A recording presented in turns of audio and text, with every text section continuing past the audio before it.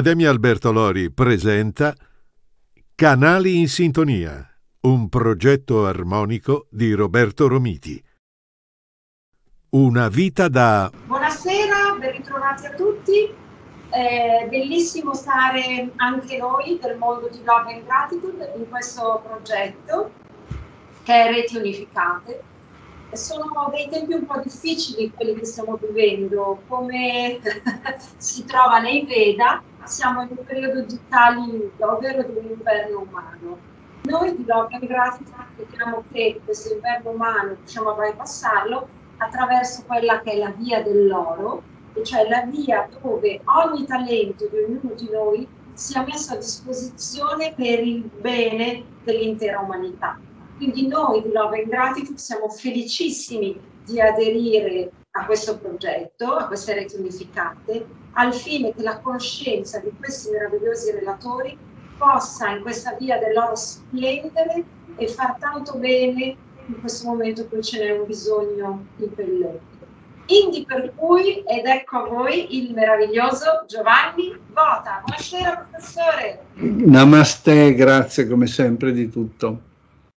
Allora Giovanni, prima di presentarti, ricordiamo che io e te in questo momento siamo ufficialmente Love and Gratitude, ora diremo cos'è, e siamo felici di aderire a questo progetto corale con tanti amici, tra l'altro relatori, ma poi sono anche amici nel nostro cammino di vita, in cui ognuno di noi metterà questo talento per il benessere eh, della società, dell'intera umanità. Allora, diamo una veloce presentazione. Chi è Giovanni Vota?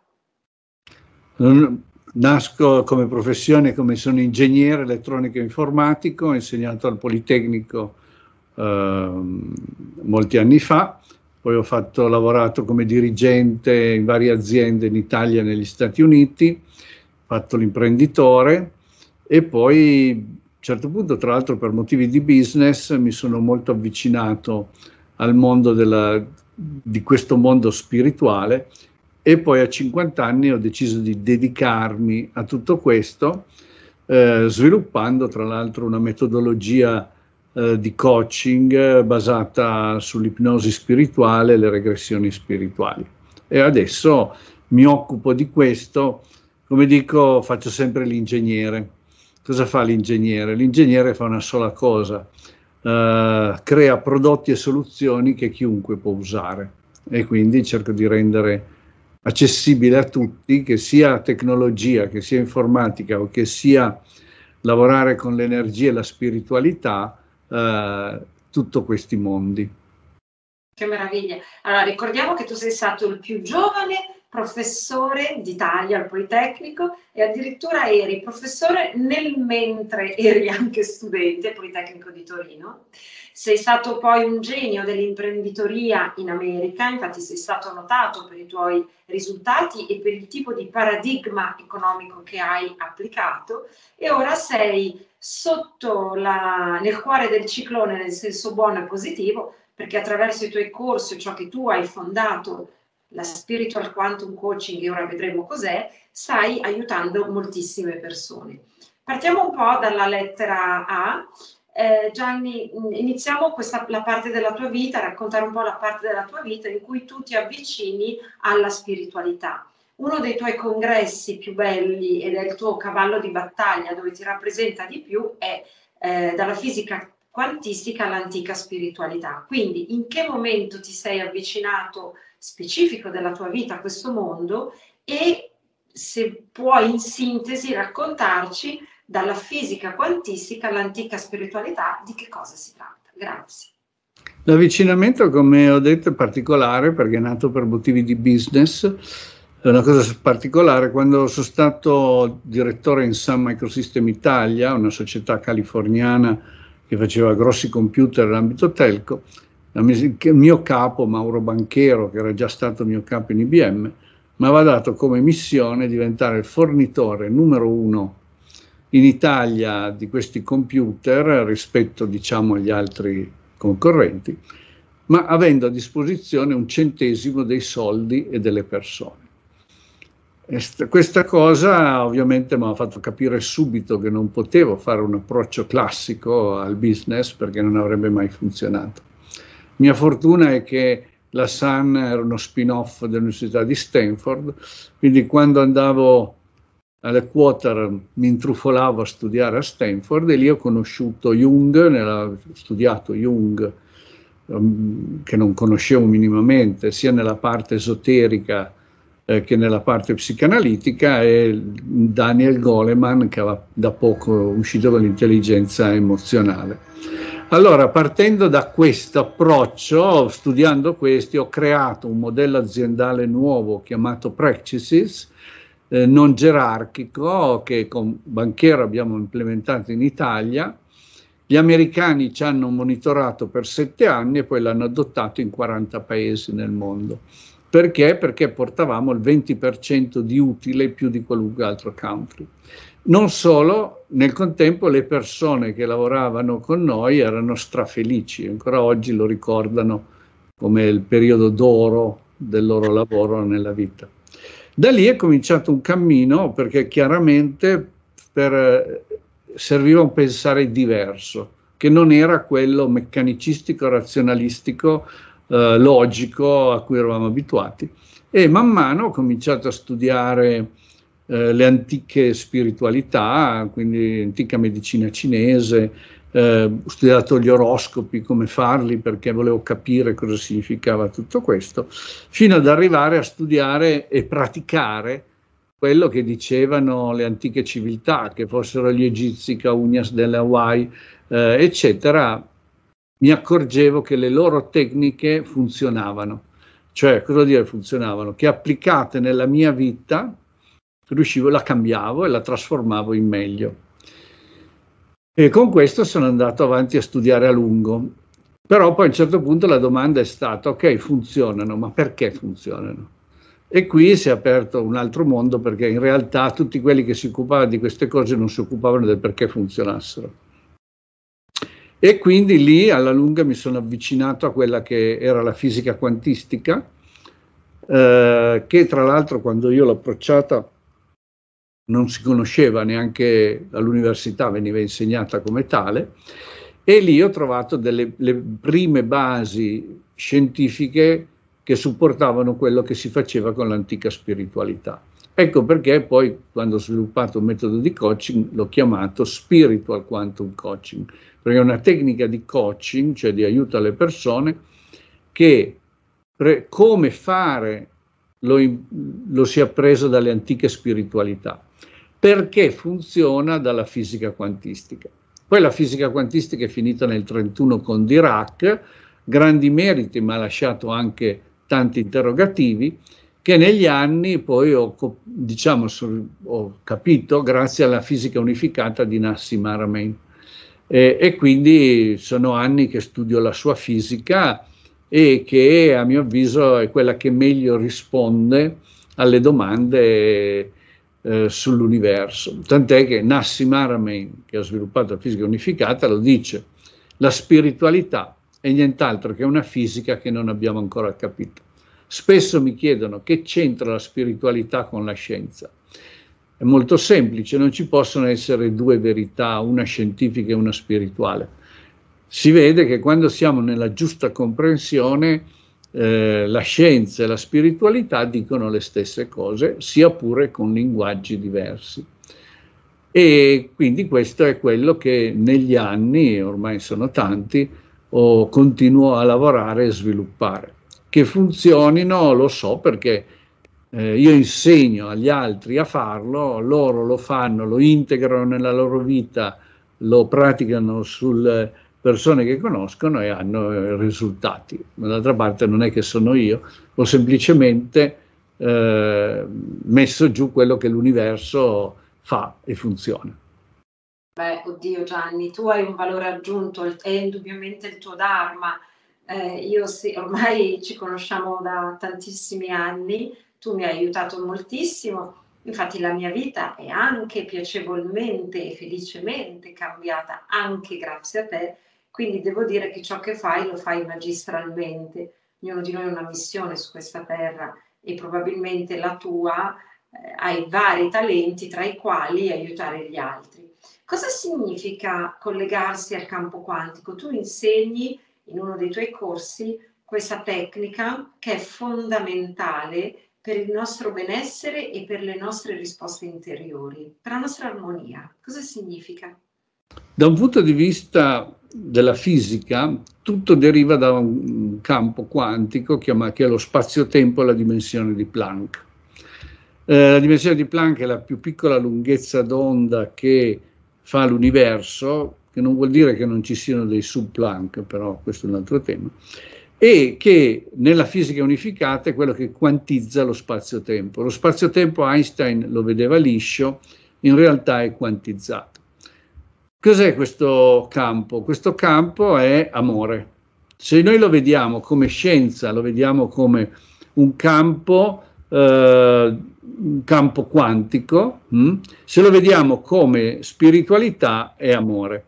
Poiché la spiritualità dice che esiste un solo campo da cui tutto deriva, la scienza dice che esiste un solo campo da cui tutto deriva, non v'è chi non veda che devono coincidere e quindi io lo chiamo campo quantico di infinito amore e intelligenza. Non solo, se noi lo guardiamo dal punto di vista fisico, la materia, eh, il protone, che è quello che costituisce la nostra materia, è costituito eh, dallo spazio-tempo che curva, come diceva Einstein, ma non basta, secondo Einstein anche eh, si torce, e eh, il protone da cosa è fatto? È fatto di nuovo da queste sferette di Planck, e costituiscono la nostra materia. Bene, eh, dentro il, il, il, protone stesso e anche la Planck Spherical Unit, l'unità di Planck, si dimostra che sono dei buchi neri con la nuova fisica eh, e al centro dei buchi neri c'è quello che si chiama una singolarità. Cos'è la singolarità? La singolarità è dove tutto va infinito. Ogni buco nero ha la sua singolarità, ma è ragionevole pensare che alla fine ce n'è una sola dove tutto va infinito e dove cui tutto ritorna. Secondo i modelli della nuova fisica, noi continuamente andiamo nella singolarità e ritorniamo. Che cos'è questa singolarità? Questa singolarità è amore, perché non esiste nient'altro. Allora vuol dire che noi siamo immersi in questo campo quantico, proprio qui lo siamo, si può anche misurare quanta energia c'è in questo campo attorno a noi, e questo campo è amore. Poiché la materia è solo lo 0,00001%, perché il resto è vuoto, come dicono i fisici oggi, ma il vuoto poi dicono il vuoto è pieno, e questo pieno cos'è? Questo campo quantico di amore. Quindi noi siamo fatti al 99,9999% di amore. Tutto è amore. Allora, quando noi eh, ci connettiamo a questo campo e diciamo lo facciamo, eh, siamo immersi in questo campo, però quando noi ci connettiamo perché chiudiamo, ci diamo l'intento di connetterci a questa energia, noi ci connettiamo direttamente col campo da cui tutta origine. E tutto l'SQC parte da questo, dal fatto che noi lavoriamo e operiamo solamente, unicamente da questo campo di infinito amore e da nessun'altra energia. Siamo in quel campo che dove c'è la luce senza ombre, dove tutto è uno, da cui tutto prende origine. Il dualismo viene dopo da questo campo qua. La dualità nasce dopo. Come ci si fa a connettere? Diciamo che la strada principale è l'ipnosi spirituale. E qui bisogna aprire un bel capitolo su quello che è l'ipnosi, su quale c'è totale mancanza di informazione. Che cos'è l'ipnosi? Molto semplicemente parte dal fatto che il nostro cervello ha quattro modi diversi di lavorare. Conscio, quando siamo nella mente razionale, eh, coma quando va in crash, però diciamo una situazione estrema, sonno e sogno quando mente e corpo sono staccati e poi c'è quello che è di gran lunga più importante che è lo stato di trance. Lo stato di trance è dove noi passiamo più del 90% della nostra vita. Eh, che cos'è? Beh, se la parte cosciente quando noi siamo nella mente razionale, lo stato di trance lo usa il nostro cervello quando deve andare nelle altre due menti, quella subconscia e quella superconscia. Il subconscio è noto come concetto. Quando poi ho cominciato a interessarmi di questo e dicevo che volevo andare nel subconscio, mi dicevano non andarci perché è pericoloso. E in effetti era come quei film dell'horror, non aprite quella porta. È vero, se tu ci vai senza cognizione di causa è un problema. Quello che eh, succede è che il subconscio è questo magazzino di tutte le informazioni della nostra vita, delle vite passate, di quello vissuto dai nostri antenati, eccetera, ed, ed è 500.000 volte più veloce della mente conscia. Chi lo dice? Non io, ma sono studi fatti. E lo si vede però anche da un fatto molto semplice. Quando noi impariamo a fare qualcosa di automatico, chi è il nostro automatico? Il subconscio. Che essendo, finché io devo usare la mente conscia per fare una cosa, sono lentissimo.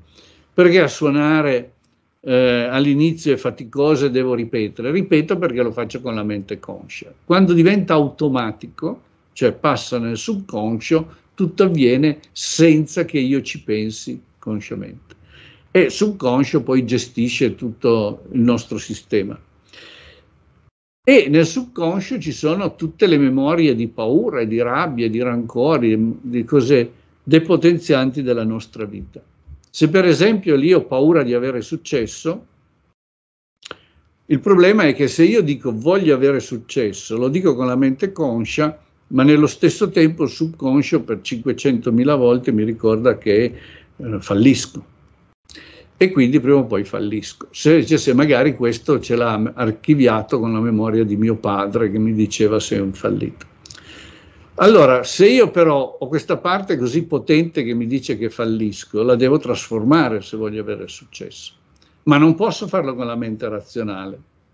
A lungo sono rimasto con questo dubbio, fino a che un giorno, leggendo un libro di Yogananda e Kriyananda, mi hanno spiegato che esiste il superconscio il superconscio è la nostra parte più alta che ci collega a questo campo quantico di infinito amore e intelligenza. Come accedo al subconscio e al superconscio? Vi accedo andando, portando il mio cervello in stato di trance. Poi quando sono in trance, se sono in paura e rabbia, l'unica cosa che posso fare è andare nel subconscio.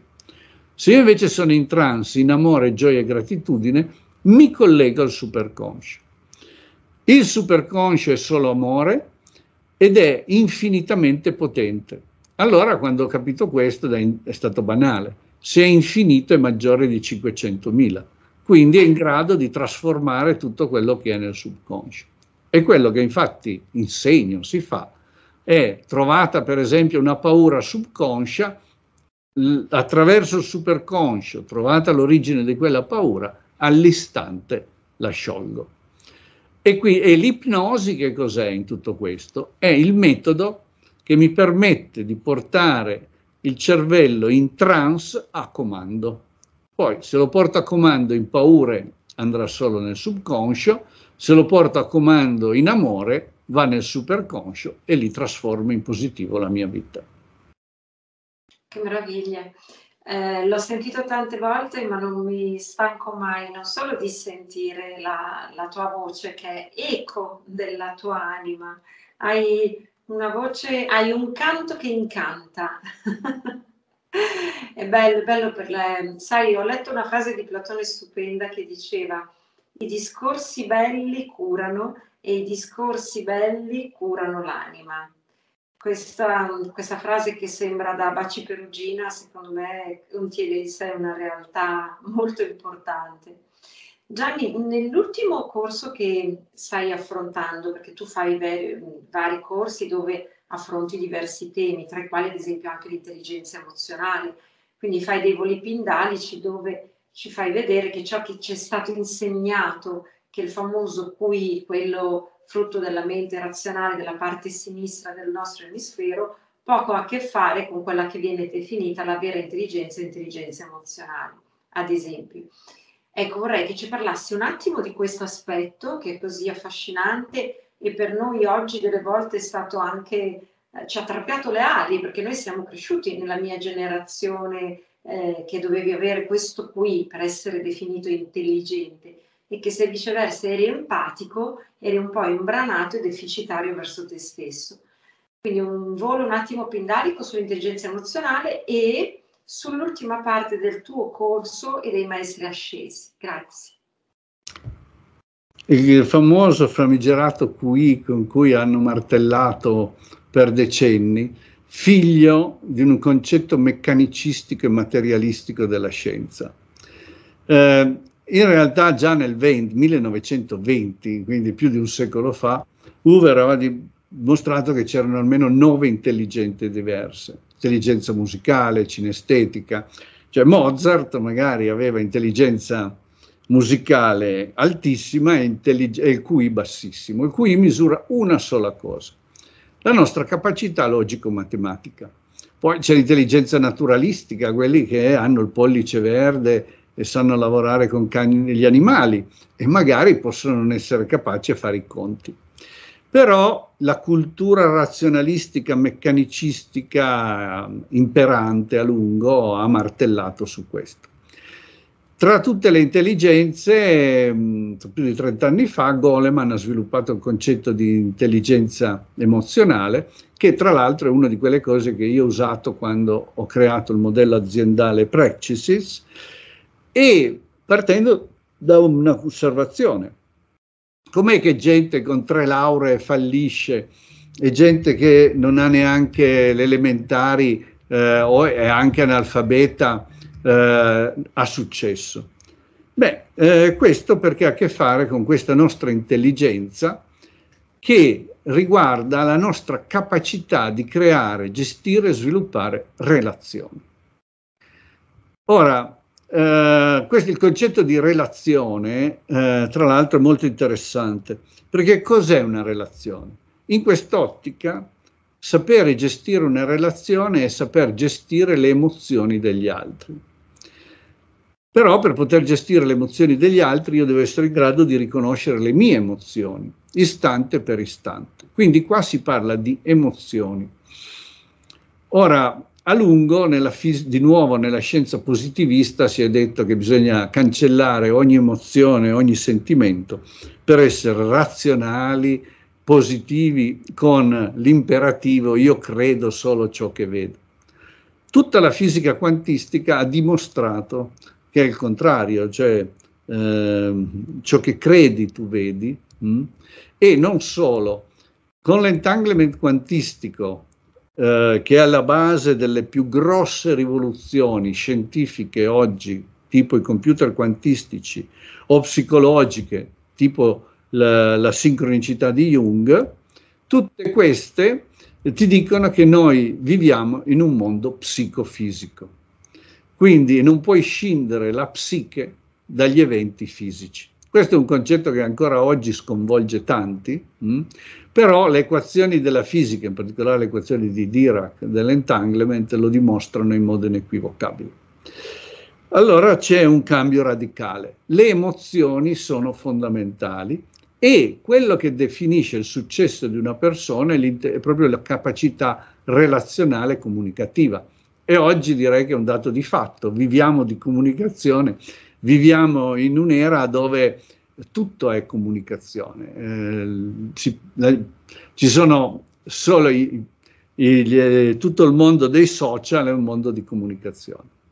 Allora, eh, persino è stato definito che oggi che siamo nella quarta rivoluzione industriale, che è la più grande rivoluzione nel mondo del lavoro, almeno ufficiale, per aver successo oggi nell'era dell'intelligenza artificiale e della robotica, quello che fa la differenza è la tua intelligenza emozionale, che di base ha diverse caratteristiche, la prima e più importante che è l'empatia, cioè la capacità di intuire quello che sente, prova e lasciami dire pensa una persona. E quando io sono in grado di intuire, perché non è che gli posso chiedere che emozioni ha, a quel punto io posso co- comunicare. Io dico che ognuno di noi, infatti, le emozioni sono come degli occhiali colorati o delle lingue. Se io sono arrabbiato, il mio linguaggio sarà di un certo tipo eh, e devo capire se la persona davanti, per esempio, è annoiata. Allora io devo prima capire in che emozioni sono io, capire in che emozione l'altro, a quel punto posso modulare la mia comunicazione. Perché devo capire, io sto parlando russo, lui sta parlando cinese, eh, non, e a quel punto io posso tradurre il mio messaggio. Certo. Tutto questo eh, lo si fa grazie all'intelligenza emozionale. Io da 30 anni anche l'ho usato in azienda, lo uso ancora adesso, faccio fare dei test con una società leader in Svizzera, eh, dove si va proprio a misurare la propria intelligenza emozionale, cioè la capacità di fare relazioni uno a uno, l'intelligenza sociale, la capacità di creare relazioni uno a molti, e la resilienza, che deriva da queste due qua, cioè quanto sono capace a trasformare situazioni difficili della vita. E, la cosa però importante è questa, se il QI sembra nasci con quel QI è fatto e finito, l'intelligenza emozionale la sviluppi, l'intelligenza sociale la sviluppi. Quindi uno fa i test, ha la fotografia e a quel punto può vedere che magari ha poss- l'empatia bassa, la stabilità emozionale, lavorando eh, su se stesso e lavorando in particolare con le tecniche di coaching che insegno o pratico, eh, uno in un anno visto fare cambiamenti radicali. A livello aziendale oggi si considera che cercano persone che abbiano almeno 110-120 su 200 di intelligenza emozionale, che è più o meno il 10% della popolazione mondiale. Ok, io però se lavoro su di me posso assolutamente cambiare e raggiungere quei livelli e quindi diciamo avere successo personale e lavorativo. Che meraviglia. L'ultima parte del, della mia domanda era dedicata all'ultimo corso che stai facendo e mi ha sempre colpito quando tu fai un riferimento ai famosi maestri ascesi, perché sentire parlare un ingegnere di guide spirituali, maestri ascesi, guidi, spiriti di luce, capisci che delle volte non è così conseguenziale. Parlamene un po'. Tutto parte dal concetto che non viviamo in un mondo materiale, ma già Einstein aveva dimostrato tutto è energia. Non solo i nostri sensi fisici sono limitatissimi, i miei gatti hanno sensi fisici più sviluppati di me certamente. Mm? Quindi tutta la mentalità che dice quello che vedo, credo, eccetera, in verità è, si poggia su nulla. Allora eh, esistono realtà al di fuori di quelle che i nostri sensi fisici percepiscono. E queste realtà siamo noi stessi, mm? noi stessi siamo energia, è un, un po' vederci come materia, è un po' il cervello che ci crea tutto questo. Queste energie, che sono per chiamarli maestri, angeli, guide, le possiamo benissimo vedere come parti evolute di noi, mh? Mm? con cui io vado a comunicare e con cui posso avere aiuto, oppure energie, diciamo, che hanno loro, la loro essenza e che comunque ci aiutano. Comunque io li veda, sono aiutanti. Con l'ipnosi spirituale, ripeto, io faccio ipnosi spirituale, non faccio ipnosi medica, non faccio ipnosi da palcoscenico, tutto quello non mi riguarda, è ipnosi spirituale, che tra l'altro è il termine tecnico di meditazione, Bene, io posso accedere a queste energie e comunicare con loro. Lo posso perché vado in energie di amore, gioia e gratitudine e lo insegno a fare sin dal primo corso, dove insegno a fare questo, fino ad arrivare al corso di regressioni spirituali, dove lì proprio a quel punto si può spaziare nelle vite passate, andare a risolvere conflitti, eh, sciogliere drammi, eccetera.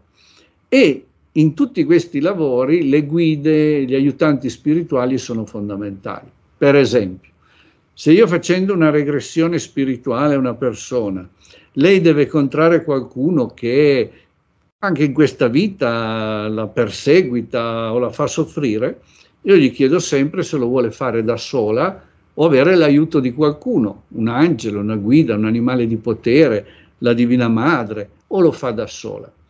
Spesso, quasi sempre, chiedono l'aiuto di un'energia, di questo tipo di energia, che li affianca e nei momenti magari difficili, eh, chiedendo l'aiuto a queste energie, riescono a superarli e trasformarli e poi arrivare alla pacificazione e all'amore. Se lo vogliamo, io lo vedo spesso come una, la metafora del deus ex machina del teatro greco. Nel teatro greco c'era che a un certo punto della rappresentazione c'era una situazione difficile, appariva il Dio che risolveva la situazione.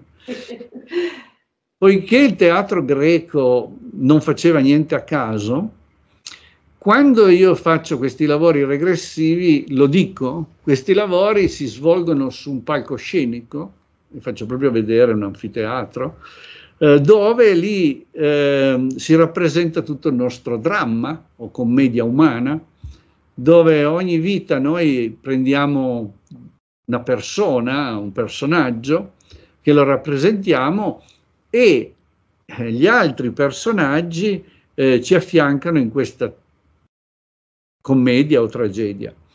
È interessante perché anche facendo questi lavori eh, si vede come di vita in vita non ci incarniamo mai da soli, ma torniamo. Chi magari è tuo marito in questa vita era tuo figlio in altre vite. E qui ci sarebbe di nuovo tantissimo da dire. Uno dice, ah io tutte queste cose non ci credo, alle vite passate non ci credo. Non è molto importante crederci.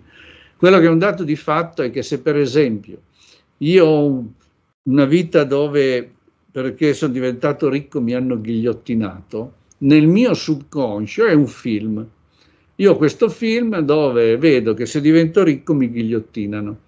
Io provo a diventare ricco in questa vita, poi a un certo punto perdo tutto. Perché? Perché una parte di me comincia a dire, beh, il collo me l'hanno già tagliato una volta, questa volta è meglio che perda i soldi. Tutte queste cose hanno un impatto diretto, immediato e fortissimo nella nostra vita attuale.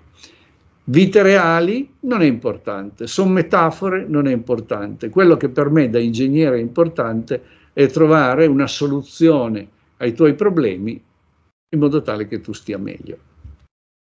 Che meraviglia. Ecco, ho l'ultima domanda, è una domanda proprio di reti unificate, la si fa ogni autore e quindi io ti chiedo ufficialmente, professor Giovanni Vota, non cosa c'è dietro l'angolo, ma cosa c'è sopra l'angolo. Ci sono in questo momento, come lo stiamo vedendo, profonde trasformazioni sul pianeta Terra. Il pianeta Terra sta passando, la, come ho già detto, la quarta rivoluzione industriale, sta crescendo verso dimensioni superiori energetiche, eh, anche siamo neanche nella più nell'era moderna contemporanea, ma si chiama tecnicamente l'era esponenziale, anche l'economia è completamente diversa. Eh, infatti si chiama sharing economy, non si chiama né capitalistica. Quindi ci sono in atto, e lo stiamo cominciando a vivere, cambiamenti esponenziali velocissimi, potenti. E questo, dice, noi non ci siamo abituati mh? Mm, e possono metterci anche in crisi come esseri umani, perché già negli anni Ottanta, quando insegnavo al Politecnico, dicevo ai miei studenti, ricordatevi che tutto quello che potrà essere fatto da un robot sarà fatto da un robot. Robot è una macchina guidata dall'intelligenza artificiale e ci stiamo arrivando a passi veloci e lunghi. Allora c'è la crisi di dire, vabbè, ma se tutto questo lo fanno i robot, cosa facciamo noi? Disoccupazione.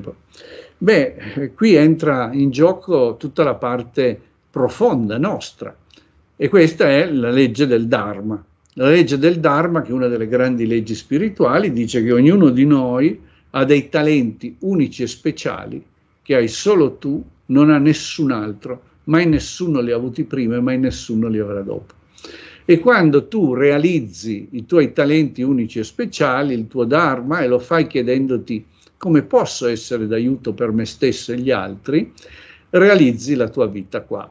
e quel ruolo lì non te lo può prendere nessun robot e non te lo può prendere nessuno nell'universo, è tuo e lì ti realizzi completamente. Il fatto che sempre più i ruoli, ma questo già lo auspicava Aristotele, i ruoli di fatica, di lavoro vengano presi da macchine, ben venga, perché sempre più ti dicono che devi realizzare chi realmente tu sei. E tu sei un essere spirituale, divino, incarnato, venuto a fare un'esperienza e a portare la tua energia di amore su questo pianeta per aiutare te stesso e gli altri. Bene, allora con questo ci lasciamo, è un epilogo meraviglioso che apre una porta a ridificare ciò che noi veramente siamo, scintille divine, la Yeshida, la famosa Yeshida. E quindi mai come avevo annunciato all'inizio presentandoti questa via dell'oro dove ognuno di noi deve mettere il proprio dharma, il proprio talento unico speciale al bene della società per migliorarci, per ritrovare la nostra connessione sacra, che è là dove c'è la nostra felicità e realizzazione, ci lasciamo Gianni. Un abbraccio al progetto Reti Unificate, un abbraccio a chi inciamperà nelle false coincidenze sincroniche in questa intervista.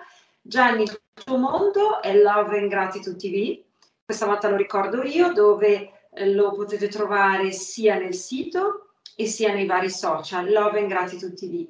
E vi lascio però, udite udite, il professor Giovanni Vota dà il proprio cellulare al servizio dell'umanità. Prego Gianni. Sì, la cosa più semplice, se qualcuno mi fa il piacere di chiamarmi e l'onore, è 333 71 71 564. Grazie. Grazie. E namaste. Sei veramente coraggioso, sei veramente coraggioso. Merci beaucoup, Monsieur Vota. Lei è un capolavoro, come tanti Namaste. altri capolavori. Namaste. Grazie. Grazie, grazie al progetto Reti Unificate. Un abbraccio a tutti voi. A presto, ragazzi. Ciao. L'Accademia Alberto Lori presenta Canali in sintonia, un progetto armonico di Roberto Romiti. Una vita da